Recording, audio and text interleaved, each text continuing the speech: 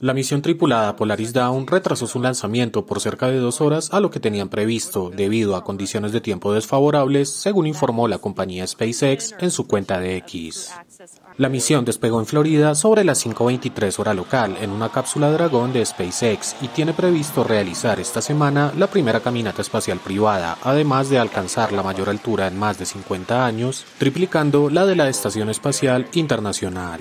La nave de la compañía de Elon Musk va comandada por el multimillonario Jared Isaacman, acompañado por Scott Pottit, expiloto de la Fuerza Aérea estadounidense, además de las ingenieras Sarah Gillis y Anna Menon, que ejercerán como y oficial médica de vuelo respectivamente.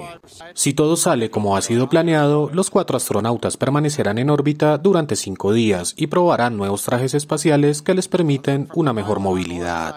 Al sexto día, los tripulantes amarizarán frente a las costas de Florida.